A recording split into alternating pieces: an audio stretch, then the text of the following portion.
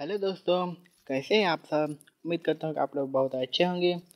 अगर आपने मेरे चैनल को अभी तक सब्सक्राइब नहीं किया तो प्लीज़ मेरे चैनल को सब्सक्राइब कर लीजिए और बगल में जो घंटा है, उसे भी दबा दीजिए, ताकि मैं जब भी कोई नया वीडियो डालूँ तो आपको मेरी वीडियो सबसे पहले देखने को मिल जाए।